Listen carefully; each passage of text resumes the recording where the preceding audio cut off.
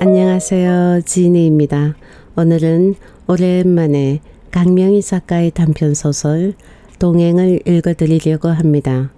작가에 대한 이력은 그동안 여러 번 소개해 드렸기에 여기서는 생략하고 대신 작품 설명란에 상세하게 기술해 놓겠습니다. 오늘 소개하는 동행은 작가의 두 번째 소설집 서른 개의 노을에 수록된 작품으로서 주인공 노인이 아파트 개발 붐으로 나온 보상금 때문에 아내도 형제도 떠나가 버리고 평생 마음으로 의지했던 친구마저 가버리자 그 허전한 마음을 가눌 길이 없습니다. 그럼 작품을 감상하시겠습니다. 오늘도 책과 함께 편안한 시간 되십시오.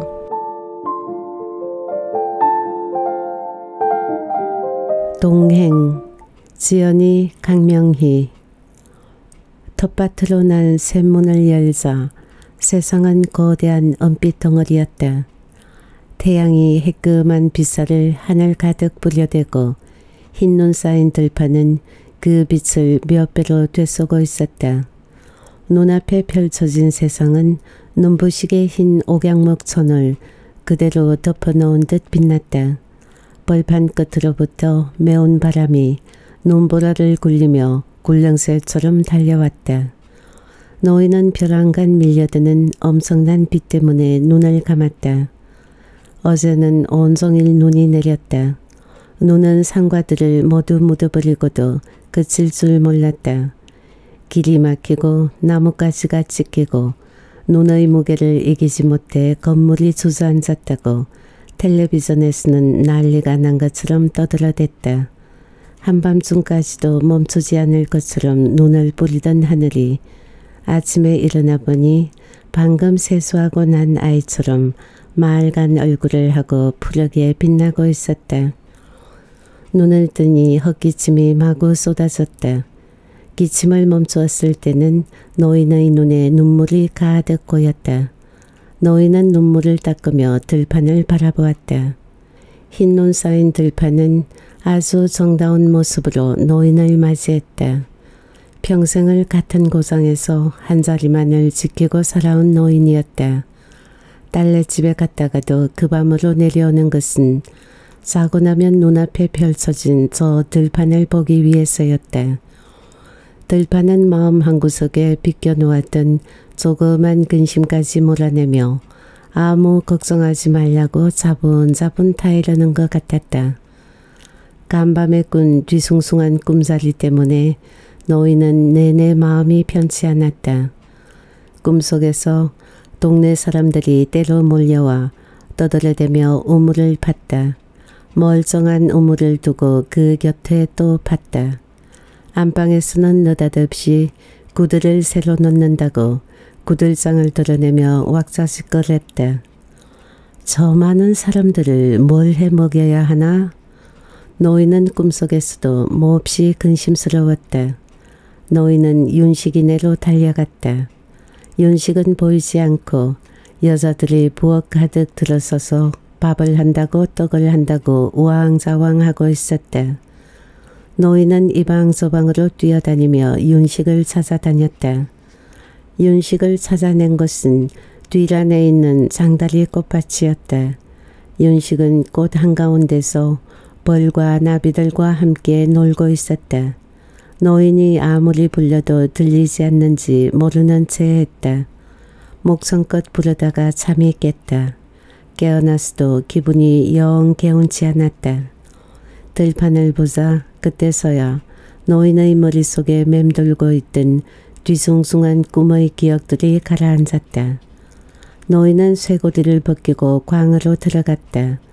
날이 달아빠진 호미와 삽과 녹이 쓴 곡괭이와 새수랑들이 늙은 애첩들처럼 앉아 노인을 맞이했다. 벽에는 손때가 묻은 키와 노인이 지프로 짠 송태미와 삼태미가 거미줄 속에 걸려 있었다. 옛집을 허물고 새집을 지을 때 노인은 한사코 이 광만은 그대로 놔둘 것을 고집했다. 아들은 마지못해 노인의 부탁을 들어 허물면 그 자리에 성원을 꾸밀 수 있게끔 집을 지었다. 노인은 한 손에는 삽과 곡괭이를 다른 한 손에는 바구니를 들고 밖으로 나왔다. 눈이 오금까지 빠졌다. 힘겹게 한 발 한 발 옮겼다. 아침밥을 먹으며 노인은 혼잣말처럼 말했다. 명절이 다가오니 오늘은 무구덩이나 흐어야겠어 그러자 아들 내외는 약속이나 한 듯 동그랗게 눈을 뜨고 질색했다. 왜 추운데 일을 또 만드세요? 아버님, 나박김치도 깍두기도 다 담아 놓았으니 신경 쓰지 마세요. 아닌 게 아니라 엄동설 안에도 부성귀들이 제철처럼 쏟아져 나오는 세상이다. 푸르고 싱싱한 채소들뿐 아니라 딸기와 한여름 과일인 수박까지 가게에 즐비했다. 우음조장 채소들은 그런 채소와 과일에게 자리를 내주고는 추레한 모습으로 귀퉁이로 밀려났다. 노인은 그 모습이 늙은이들의 센 모습처럼 느껴졌다. 그래도 노인은 가을이면 꾸준히 텃밭 양지 바른 곳에 무구덩이를 만들었다. 정월 명절이 다가오면 제일 먼저 하는 일이 무구덩이를 파내는 일이었다. 그날은 근처에 사는 큰아우와 작은아우네 식구들이 다 모였다. 삽과 곡괭이를 하나씩 들고 밭으로 나가면 미리부터와 눈밭에서 뛰어놀던 아이들이 탄성을 지르며 몰려왔다. 기운센 큰아우가 눈을 헤치고 곡괭이로 콕콕 찍어 언 땅을 깼다. 그럼 다른 아우와 노인이 삽으로 흙덩이를 떠서 드러냈다. 아이들은 구덩이 속에서 신기한 보물이라도 나올 것처럼 두 눈을 반짝이며 기다렸다. 얼마쯤 흙을 드러내면 입구를 막아둔 지푸라기 마개가 보였다. 마개를 움켜쥐고 온 힘을 다해서 뽑아낼 때 노인의 가슴은 언제나 떨렸다. 가을에 묻어둔 무와 배추를 한겨울에 다시 보는 것은 오랫동안 떨어져 있던 자식을 만나는 것만큼이나 설레었다. 얼음 가루가 부서지며 단단히 막은 진마개가 뽑혀서 나왔다. 그 안에 손을 넣으면 노란 병아리색을 한 움파가 나왔다. 또다시 손을 넣으면 연두빛 이파리가 곱슬곱슬하게 자란 무가 나왔다. 그 뒤로 누이의 살결처럼 뽀얀 배추와 씨눈이 커진 시감자, 대여섯 살 때 놀랍고 신기했던 그 기억은 노인이 아직까지 기억하는 가장 오래된 기억이다. 그 후 노인은 가을 거지가 끝난 후 실한 채소만을 골라 땅속에 묻는 일을 한 해도 그러지 않았다. 구덩이가 흘리면 어른아이 할 것 없이 무와 배추를 두 손으로 안아 집으로 날랐다. 아궁이에서는 콩대가 제 몸을 빨갛게 태우고 가마솥에서는 구수한 냄새를 풍기며 토장국이 끓었다. 해꽃 수장과 함께 배추쌈을 상에 올리고 뜨거운 배추국을 부으면 김치뿐이었던 한겨울 밥상은 푸짐했다. 아우네 식구들과 뜨끈한 방에 모여 앉아 밥을 먹으며 정월에는 서울에서 누가 올 것인가를 꼽았다. 명절이라고 일가부시들이 우르르 몰려 내려오던 그때는 사는 맛이 절로 났다. 정작 명절 준비는 그때부터였다. 나를 잡아 나박김치와 깍두기를 담았다. 어느 날은 온종일 맷돌을 돌려 콩을 갈아 두부를 만들었다. 역 고는 일이 그중 가장 크고 신나는 일이었다. 가을에 거두어들인 여러 가지 곡식들 중 밥으로 해먹기 어려운 쌀아기 곡식들을 모아두었다가 엿을 고았다. 엿기름을 물에 담그고 그 물에 쌀아기 밥을 풀어 하루 좀 뜨뜻한 아랫목에 묻어두면 알맞게 사갔다.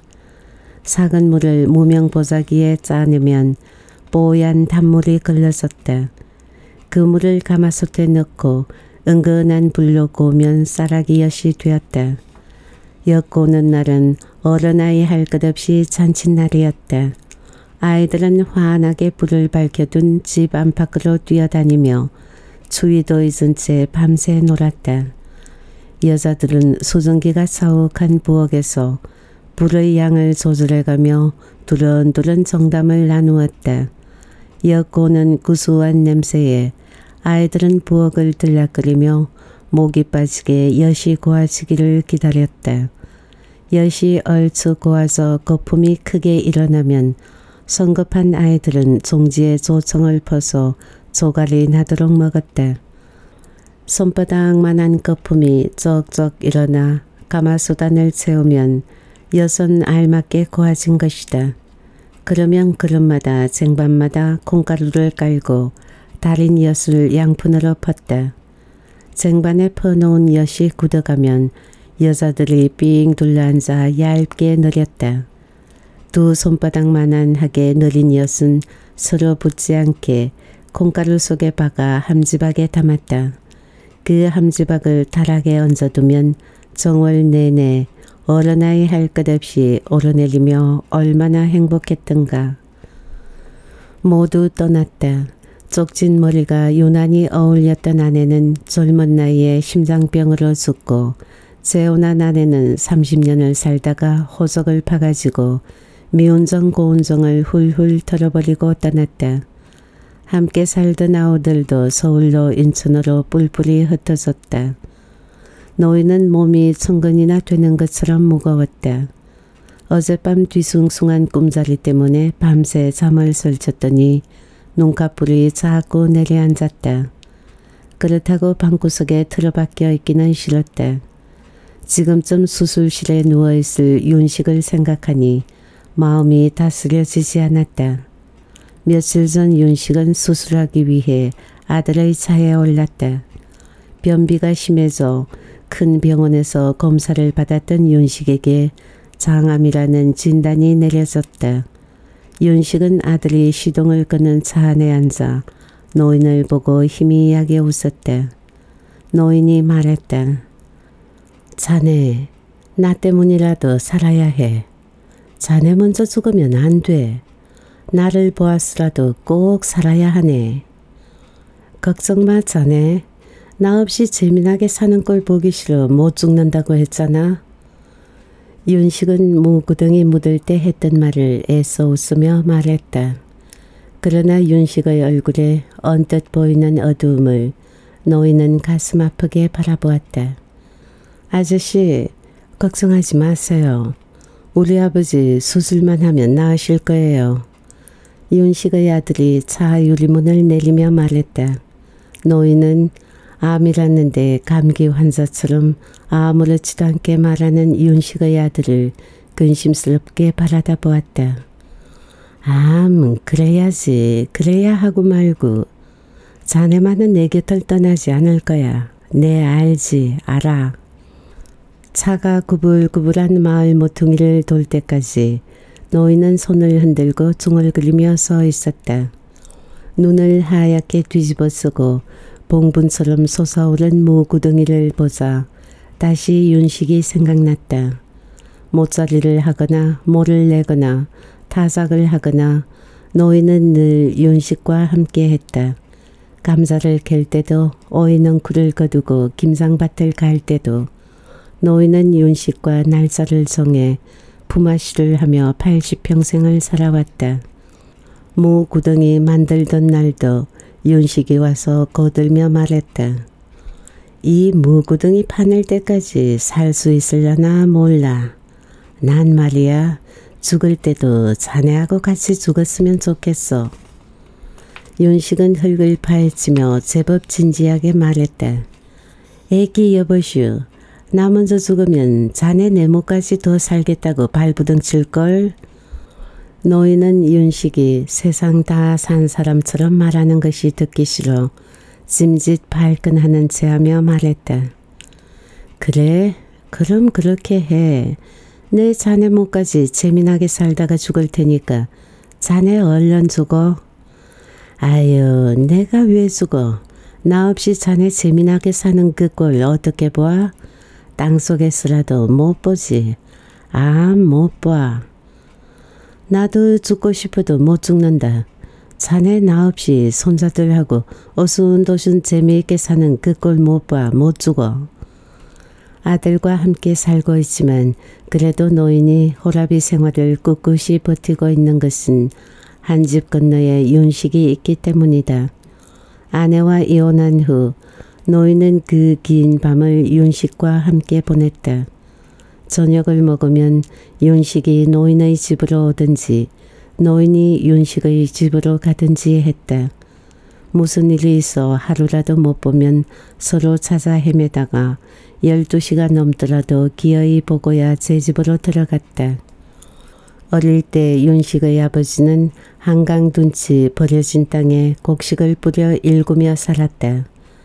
작은 물이 났을 때조차 뚝밖의 땅은 벌건 황토에 묻히기 일수였다. 어느 해부터인가 타는 가뭄이 몇 년째 계속되었다. 윤식인의 둔치 땅에서는 곡식이 화수분처럼 쏟아졌다. 그때 윤식이네는 이곳 구릉에 집과 땅을 사서 이사를 나왔다. 윤식이 소학교 들어가던 해였다. 처음에는 어머니들이 오가며 붙어 살았다. 자연히 노인은 동갑내기 윤식과 학교 갈 때도 속골 먹일 때도 나무할 때도 한강에 나가 조개 잡을 때도 늘 함께였다. 결혼은 노인이 먼저 하고 윤식이 한 해 나중에 했다.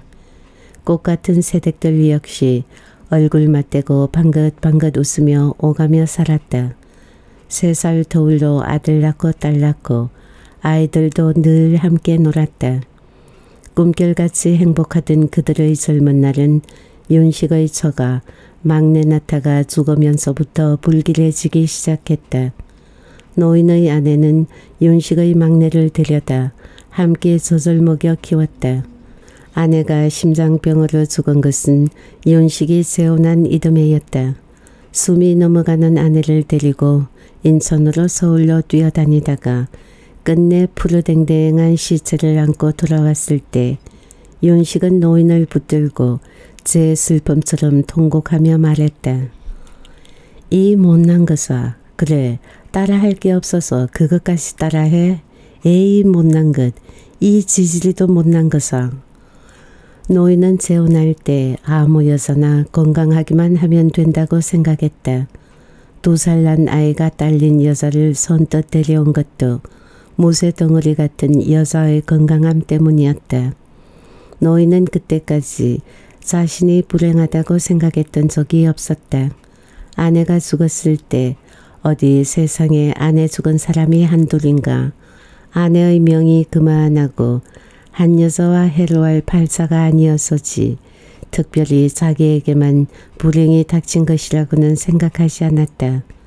재혼한 윤식이 역시 처음에는 이 말 저 말 나오더니 어느 날부터 별 말 없이 구순하게 살았다.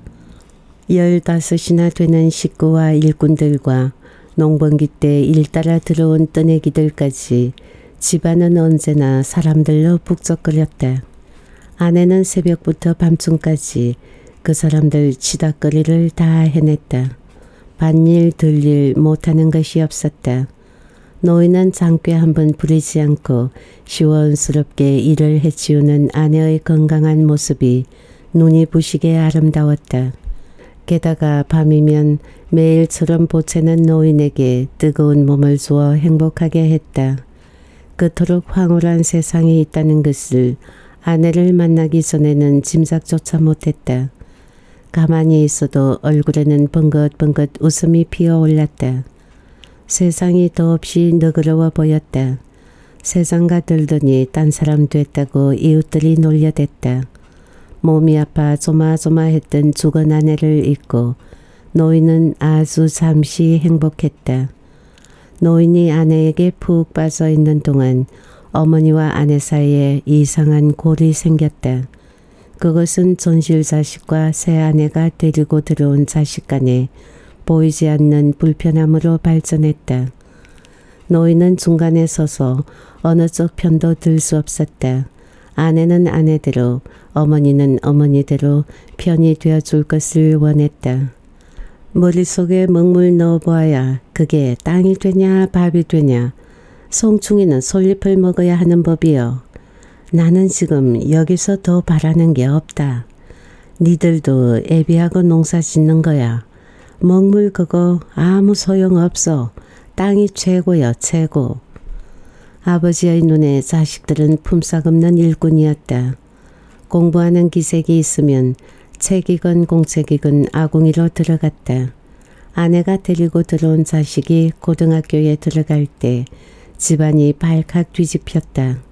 어머니는 당신 자식도 보내지 않은 고등학교에 의붓 자식을 보낼 수 없다고 반발했다. 노인은 어머니 몰래 장리사를 얻어 의붓 자식을 고등학교에 보냈다. 한 번, 두 번 월사금을 낼 때마다 생긴 다툼이 세 번째 낼 때 집안 전체로 번졌다. 어머니는 광 열쇠를 끌어안고 벽을 보고 누워 꼼짝하지 않았다. 노인은 어머니께 무릎을 꿇고 앉아 세상이 변해 내 자식이건 나무 자식이건 배워야 산다고 울며 사성했다. 어머니는 끝내 열쇠를 내놓지 않았다. 노인은 벽을 보고 누운 어머니를 향해 소리치다가 손에 잡히는 대로 물건을 내던지기 시작했다. 순식간의 일이었다. 요강이 지린내를 풍기며 봉당 바닥에 산산조각이 났을 때 아내는 보따리를 꾸렸다. 노인은 동구밭까지 간 아내를 쫓아가 달래서 빈대떡 한 장 사먹이고 데리고 돌아왔다. 대문을 들어서자 집안에 농약 냄새가 자욱했다. 어머니는 농약병과 함께 봉당에 쓰러져 있었다. 노인은 어머니를 들 수 없고 읍내 병원에 달려갔지만 소용이 없었다. 어머니는 환갑을 겨우 넘긴 나이에 그렇게 갔다. 노인은 삽으로 무구덩이 입구의 눈을 치우기 시작했다. 젊은 날엔 눈 치우는 일이며 언 땅을 깨는 일은 일속에도 들지 않았다. 마당 쓸듯 눈을 치우고 곡괭이로 몇 번 내리치면 흙두미를 쌓아둔 입구가 갈라지곤 했다. 지금 노인은 눈앞에 있는 눈 치우는 것만으로도 숨을 허걱거렸다. 코끝이 얼어 가려워 왔다. 종기 흔적이 추워서 빨갛게 얼었다. 자랄 때 윤식은 노인을 딸기코라 놀렸다. 윤식이 별명을 부를 때는 노인은 어떻게든 달려가 주먹질을 했다. 괜히 싸우고 싶은 날이면 윤식은 일부러 노인의 별명을 불러 한바탕 뒤엉켜 싸우곤 했다. 노인은 윤식이 생각이 나자 자꾸 집 쪽을 쳐다보았다. 10시에 수술 들어간다고 했으니 아직 끝나지 않았을 거야. 텔레비전에서 보면 하루 종일 걸려 수술을 하기도 한다지 않은가. 윤식이 배를 가르고 수술실에 누워있을 거라 생각하니 정신이 아득해 왔다. 노인은 불안함을 떨쳐버리려는 듯 곡괭이를 다시 손에 쥐었다. 언 눈을 내리치고 깨떨어진 조각을 삽으로 퍼냈다. 맨 땅이 속살처럼 드러났다. 노인은 구덩이 입구를 곡괭이로 힘있게 내리쳤다. 흙이 여러 조각으로 갈라졌다. 노인이 삽으로 흙을 떠내자 지푸라기로 단단히 봉해둔 마개가 나왔다. 노인은 두 손으로 힘껏 마개를 빼냈다. 지푸라기가 뽑혀서 나왔다. 노인은 몸통을 굴 안으로 반쯤 집어넣은 채 손을 뻗었다. 미끈한 무가 노인의 손에 집혀 나왔다. 왼쪽으로 손을 넣으니 배추가 손에 잡혔다. 노인은 두 손으로 조심스럽게 배추를 끌어냈다. 그러나 노인의 모든 행동은 오랜 습관에 불과했다. 노인의 생각은 온통 윤식의 수술실에 가 있었다. 구름 한 점 없는 하늘에서 태양은 빗줄기를 뿜어내느라 안간힘을 썼다. 햇볕도 얼어붙었는지 양지 속에 쌓인 눈조차도 녹을 기미를 보이지 않았다. 그래도 처마 끝 어디에서는 눈이 녹는지 햇볕에 반짝이며 고드름이 자랐다. 하늘을 보니 해가 노인의 머리와 지평선 가운데서 빛났다. 어림잡아 두 시는 되었을 것이다. 지금쯤 무슨 소식이 있지 않을까 생각이 거기에 미치자 노인은 하던 일을 떨치고 샘문을 통해 방으로 뛰어들어갔다. 누군가가 이미 기별을 했을지도 몰라 전화벨이 저 혼자 울다가 그쳤을지도 모르지. 방 안은 어둠 속에서 침묵하고 있었다. 한참을 서 있으니 차츰 어둠이 가라앉았다. 전화기가 보였다. 노인은 윤식의 집에 전화를 걸었다. 아무도 받지 않았다. 그렇지 수술하러 간 윤식이 집에서 전화를 받을 리가 없어. 노인은 수첩을 뒤져 윤식의 아들 전화번호를 찾았다. 또르륵 신호가 갔다. 아무도 받지 않았다. 발신음이 계속 울렸지만 여전히 받지 않았다. 답답한 마음에 무작정 기다렸다. 불길한 생각이 들 때면 아무 일 없을 거라고 스스로에게 중을 그렸다. 얼마쯤 지났을까 누군가가 전화를 받았다. 여보시오 여기 시골인데요. 민영이 할아버지 소식이 궁금했어요. 노인은 떨리는 목소리로 물었다. 아직 모르셨어요? 남자의 목소리는 담담했다. 뭘요? 뭘 모른다고 해요? 저는 옆방에 새들을 사는 사람인데요. 민영이 할아버지 돌아가셨다고 안집 식구들 모두 다 병원으로 달려갔어요. 얘기 여보시오. 젊은 양반 잘못 들었을 거야. 수술하면 쉽게 나을 수 있다고 했단 말이요. 쇼크 사래요. 마취시키다가 그렇게 됐다고 해요. 그럴 리가, 그럴 리가 없어. 이보시 오. 병, 어, 병원이 어디래요? 여기 어디 적어 놓았는데 잠깐만 기다리세요. 아, 여기 있네요. 노인은 병원 이름만 겨우 듣고 수화기를 떨어뜨렸다. 밖으로 달려나왔다. 눈으로 빙판이 된 길을 미끄러지며 달려 읍내로 향했다. 택시 한 대가 눈길 위를 엉금엉금 들어오다 허둥대며 달리는 노인을 보고 차를 세웠다. 아저씨 어딜 그렇게 허둥대며 뛰어가세요? 택시끈은 살구나무집 아들이었다. 자초지종을 들은 살구나무집 아들은 노인을 택시에 태우고는 다시 엉금엉금 기어 돌아오던 길을 되돌아갔다. 큰 길에 나오니 눈이 제법 녹아 있었다. 살구나무집 아들이 노인을 병원 앞에 내려주었다. 그때서야 노인은 무구덩이 파던 옷차림이라는 것을 알았다.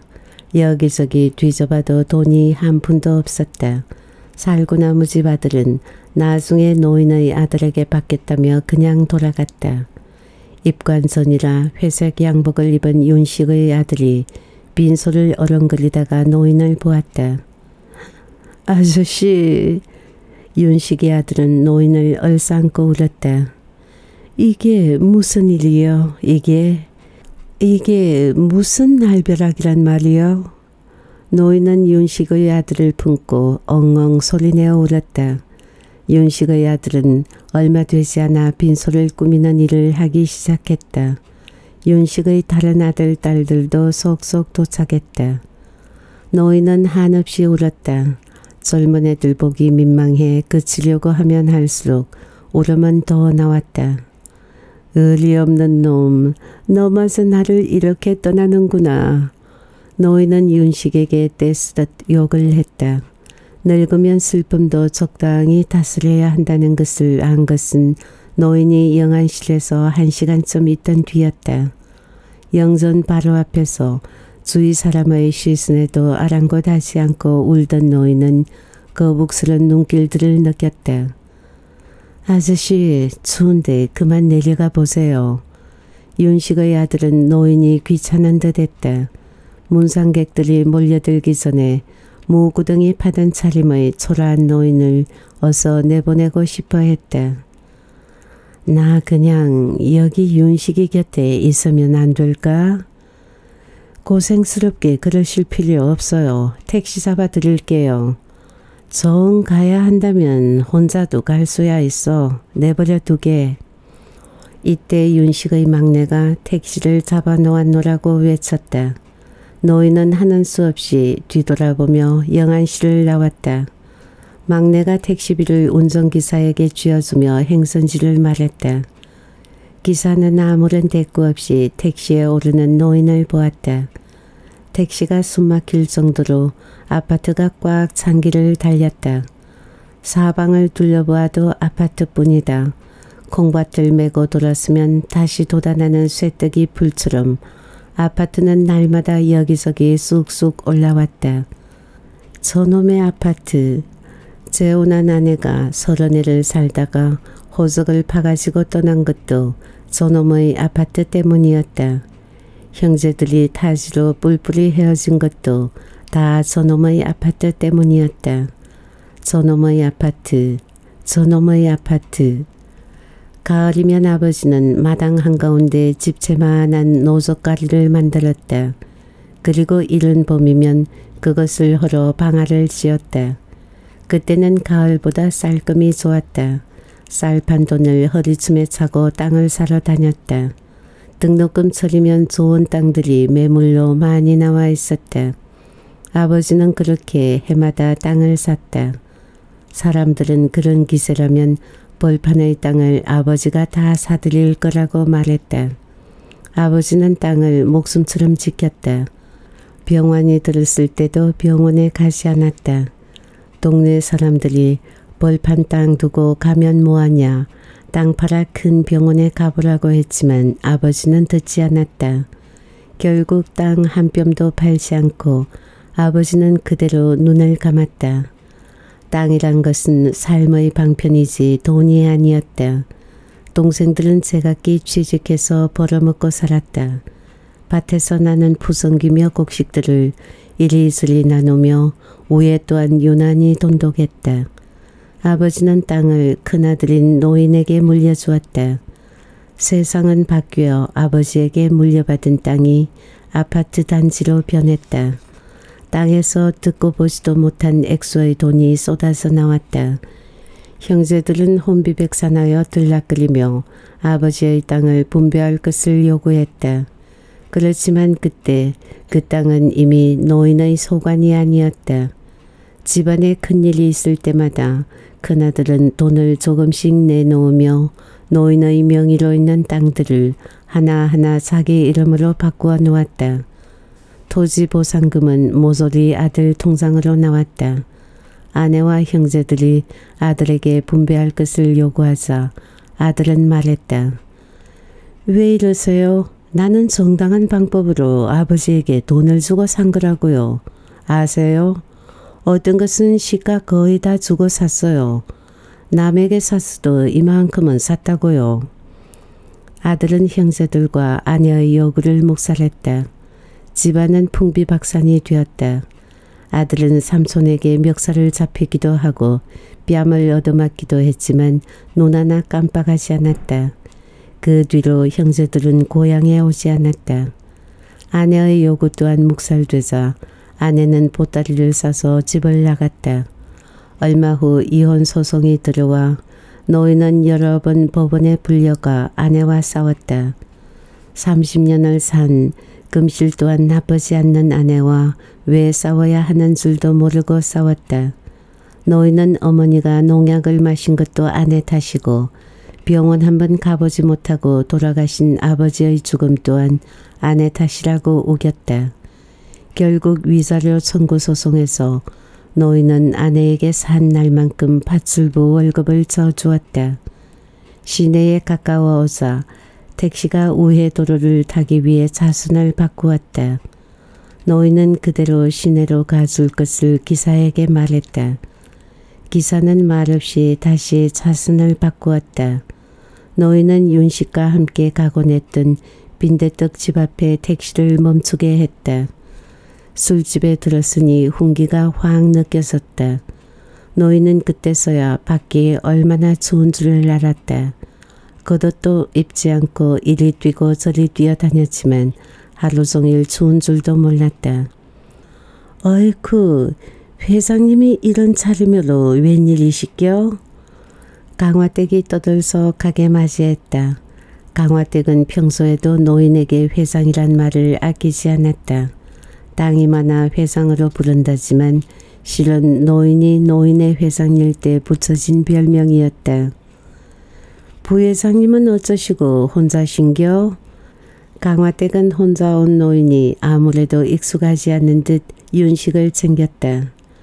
그 몹쓸 놈이 글쎄 날 두고 혼자 갔어. 날 두고 혼자. 에이 천하의 몹쓸 놈. 어디 효도 관광이라도 몰래 가시겨? 아둔한 강화댁의 머릿속에서 고작 생각에 냈다는 것이 효도 관광이었다. 먼저 죽으면 안 된다고 그토록 다짐을 했건만 그놈이 날 두고 날 두고 혼자 갔단 말이여. 나 혼자 어찌 살라고. 그때서야 강화댁은 낌새를 차리고 술 주전자를 노인 옆에 놓았다. 노인은 주전자를 들고 벌컥벌컥 들이켰다. 얼른 취하고 싶었다. 강화댁이 딱한 눈으로 보며 빈대떡을 붙여다 놓았다. 잘 갔어. 잘 간 거야. 나도 그렇게 하루아침에 잠자듯이 갔으면 좋겠어. 강화댁, 그게 이 박복한 놈의 마지막 소원이야. 허긴 죄가 많아 그렇게도 못 갈 거야. 어머니 돌아가시고 형제들 뿔뿔이 헤어지고 30년 살던 마누라 악담하며 호적 파가지고 나갔는데 무슨 영화를 보자고 여태껏 살아. 이놈아 이 몹쓸 놈아 그렇게 금방 죽으니 그런 복이 어딨냐? 내가 먼저 죽어야 했는데 자네 앞에서 내가 먼저 죽어야 했는데 노인은 제 수름을 토하듯 울며 새 주전자째 술을 마셨다. 젊은 날에는 말술을 먹어도 끄떡하지 않던 노인이었다. 강화댁이 말 참견하며 나섰다. 회장님 그만 드시겨. 젊은이들도 그만큼 먹으면 견디기 힘들어 할 판인데 어여 일어나시겨. 날도 안팡지게 추운데 어여 들어가셔야지. 이러다 일당하기 십상이 계시다. 그리고 이 추운 날씨에 부잣집 영감님이 왜 그런 차림으로 다니시겨? 부잣집 영감? 하하하 부자? 취하셨시다. 이만 가시겨. 강화댁은 눈을 흘기며 말한다. 난 말이여 알것이여 알것이 아버지가 물려준 땅 아들에게 다 잡혀먹고 난 알것이란 말이여. 부잣집 영감이란 거 세상 천지가 다 아는데 자꾸 이러지 마시겨. 난 말이여 살려고 한 죄밖에 없어. 내가 바람을 피웠어 도박을 했어. 아님 나무 등을 쳐먹었어. 그냥 자식 새끼들하고 오순도순 살려고 한 죄밖에 없어. 왜 죽을 나이가 된 지금까지 죄인처럼 살아야 해. 다들 떠나가라고 해. 이 몹쓸 놈, 난 어떻게 살라고. 이놈아, 난 어떻게 살아, 이놈아. 노인의 목구멍에서 울음이 삐져나왔다. 왜 다 떠났다고 하시는겨? 부자로 사시는 아드님이 계신데 이 벌판에서 아드님이 제일 부자 아니있겨? 아들, 그래, 내게도 아들이 있었지. 늙은이 싫다 해도 지가 내시바다 세상에 나왔는데 어쩌겠어? 그렇지, 내게도 아들이 있었지. 노인은 비틀거리며 일어났다. 들여 마신 술 때문에 몸이 말을 듣지 않았다. 노인은 다시 한번 비틀거리며 쓰러졌다가 일어났다. 강화댁이 근심스럽게 보며 뭐라고 말하는데 이미 노인의 귀에는 들리지 않았다. 노인은 무턱대며 괜찮다고 손사래를 쳤다. 강화댁의 근심스러운 눈길을 뒤로 하고 노인은 빈대떡집을 나왔다. 황금교 앞까지 왔는데 어두운 벌판 끝으로부터 칼끝같이 매운 바람이 불어왔다. 얼어붙은 하늘에는 크고 작은 별들이 다 모였다. 별 하나가 꼬리를 길게 늘어뜨리고 벌판 끝으로 흘러갔다. 별이 흘려가 떨어진 곳은 한강이었다. 한강까지는 먼 거리였지만 윤식과 앞서거니 뒤서거니 다름질쳐 달리면 어느새 한강에 다다르곤 했었다. 그래 자네와의 인연이란 게 이런 것인지 몰라. 모진 풍파 속을 앞서거니 뒤서거니 다름질치며 살다 보니 얘까지 왔는걸. 어떤 때는 자네가 먼저 한강에 도착해서 날 기다렸고 또 어떤 때는 내가 먼저 가서 자네를 기다렸지. 그래, 지금은 자네가 먼저 도착한 거야. 기다리게. 나도 곧 갈 테니까. 여보게 사람이 한평생 산다는 건 말이야. 그게 별게 아니더군 그래. 좋아도 가고 싫어도 가는 게 세월이고 슬퍼도 가고 기뻐도 가는 게 세월 아닌가. 그냥 살다가 보니 이만큼 와 있네 그려. 서러울 것도 누굴 원망할 것도 없어. 이웃에서 70여 년을 함께 산 긴 인연. 서로의 아픔을 어루만졌던 긴 세월, 전생에 뿌려놓았던 좋은 인연 하나가 이웃으로 만나 한 세월 살게 한 게야. 잘 가게나 친구, 가서 편히 쉬게나. 그간 고마웠어. 나 때문에 마음 아파하며 눈물 짓던 거 나 잊지 않았어. 아니 못 잊지. 근데 여보게 나 어쩌지? 자네 없는 세상 살아낼 자신이 없으니 말이야. 아내가 갔을 때도 어머니가 갔을 때도 이만하지는 않았어. 이젠 나도 갈 때가 되었는가 봐. 집이 보였다. 노인이 나서 자란 집. 결혼을 하고 아이를 낳고 아버지와 해마다 땅을 사들이며 행복했던 집. 보상금이 쏟아져 나오자 아들은 집을 허물고 정원이 넓은 2층 양옥집을 지었다. 노인의 행복한 추억이 서린 집은 간 곳이 없고 그 자리에 아내와 형제들을 쫓아보낸 괴물 하나 자리하고 있었다. 불빛이 보이자 술이 머리 끝까지 달아오르고 다리에 맥이 확 풀렸다. 대문은 열려 있었다. 노인은 기듯이 대문 안을 들어갔다. 하지만 거기서는 한 발자국도 뗄 수가 없었다. 노인은 그 자리에 물먹은 흙담처럼 무너져 주저앉았다. 우유빛 거실 유리 안에서 텔레비전 불빛이 여러 갈래로 퍼져나와 눈 위에 희왕찬란하게 비쳤다. 노인이 일어나려 하면 할수록 다리의 힘은 점점 더 빠져나가고 엉덩이는 무거워졌다. 술기운이 머리 끝까지 올라와 몽롱했다. 거실 안에서는 아들 며느리가 텔레비전을 보고 있었다. 며느리는 푸념 섞인 목소리로 말했다. 여보, 아버님 치매 걸리셨나 봐요. 무슨 소리야 그건? 글쎄 하필이면 이 추운데 무구덩이를 파헤쳐 놓아서 무배초할 것 없이 빳빳하게 얼어버렸지 뭐예요. 어디 잠깐 나갔다가 오니까 사람 나간 집처럼 샘문까지 활짝 열려 있는 게 아니겠어요?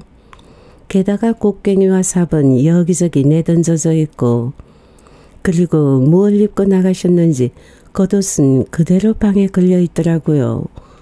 이 추운데 겉옷도 걸치지 않고 어딜 가셨는지 혹시 민영이 할아버지 아니야 그건 아직 모르셔. 정말요? 아침에 민영 아빠가 전화했는데 아직까지 말씀드리지 말라고. 그건 왜요? 말은 충격을 받으실까봐 그렇다고는 하지만 뻔하지 뭐. 영안실에 노인네가 있으면 신경 쓰여서일 거야. 그나저나 어딜 가셨을까? 들어오시겠지 뭘 그래. 아들이 대수롭지 않게 말했다. 귀가 땅에 닿았다. 언눈이 버석거리며 진이 겨치는 소리가 들렸다.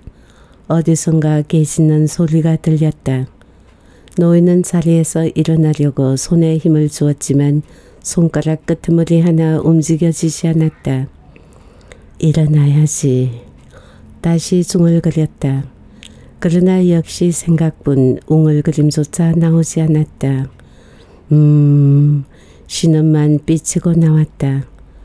동상구는 알코올로 녹신해진 사지를 끝으로부터 야금야금 먹어왔다. 감각기관이 마비되어 추위조차도 느껴지지 않았다. 몸은 점점 굳어져 갔지만 머릿속은 얼어붙은 별빛처럼 명료해졌다. 노인은 눈을 가늘게 떴다. 아, 이 자리. 집을 허물기 전 여기는 봉당이었어. 요강이 지린내를 풍기며 산산소각이 난 자리 어머니가 농약 냄새를 풍기고 죽어가던 자리 그때부터 사는 게 사는 게 아니었어. 맨발로 소리발 위를 걷는 것처럼 살았어. 머리에 가시관을 쓴 죄인으로 평생을 살았어.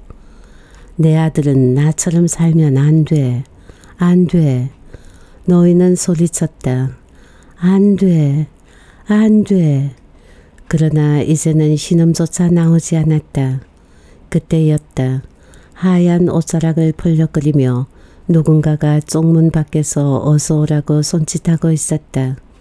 자세히 보니 젊은 나이에 죽은 아내였다. 새파랗게 젊은 아내는 만개한 꽃처럼 활짝 웃고 있었다. 쪽진 머리가 여전히 아름다웠다.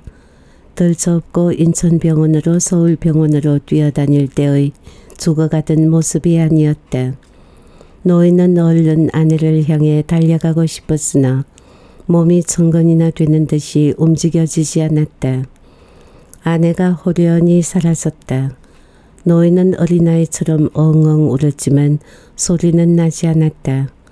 노인의 눈앞에 커다란 손이 보였다. 어릴 때 넘어져 울 때면 일으켜주고 쓰다듬어 주던 어머니의 손이었다. 고개를 들어보니 인자한 표정의 어머니가 두 팔을 벌리고 있었다. 어머니 품속으로 그대로 달려들고 싶었다. 어머니 노인은 소리쳤다. 어머니가 다가왔다. 어머니는 노인을 두 팔로 폭 안았다.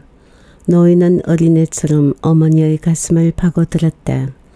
어머니의 품은 목화솜처럼 따뜻하고 포근했다. 노인은 아주 오랜만에 행복했다. 노인은 미소를 지었다. 노인의 미소 위로 기상캐스터의 목소리가 들려왔다. 오늘 새벽 5시를 기해 대설주의보는 해제됐지만 시베리아 창공에서 발달한 강력한 고기압이 한반도 쪽으로 확장되어 내려오면서 전국에 한파 경보가 내려지겠습니다. 이런 동산군의 기세는 당분간 이어질 전망입니다. 농작물 관리와 수돗물 동파에 유의하시기 바랍니다. 이야기는 여기까지입니다. 동행 잘 들으셨는지요? 주인공 노인은 평생을 함께 동고동락하며 살아왔던 친구의 죽음을 끝내 떨치지 못하고 죽음의 동행으로 이야기가 마무리되는데요. 부모의 마음을 헤아리기보다 물질에 대한 욕망만 가득한 자식과 몫을 나누어 주지 않자 냉정하게 등 돌렸던 형제들보다 노인에게는 마음을 터놓고 얘기할 수 있었던 친구의 존재가 더없이 크게 자리하고 있었고 소중했던가 봅니다. 그리고 소설 장면 중에 어렸을 때 우리도 경험한 듯한 엿고는 장면과 무구덩이 흘러내는 과정 등을 매우 디테일하게 그려놓아 옛날 농촌 마을의 덕목과 풍속을 즐길 수 있었는데요. 이제는 점점 그런 농촌의 모습은 사라지고 향수와 동경으로 남을 것 같습니다. 오늘도 끝까지 함께 해 주셔서 감사합니다. 행복한 시간 되십시오.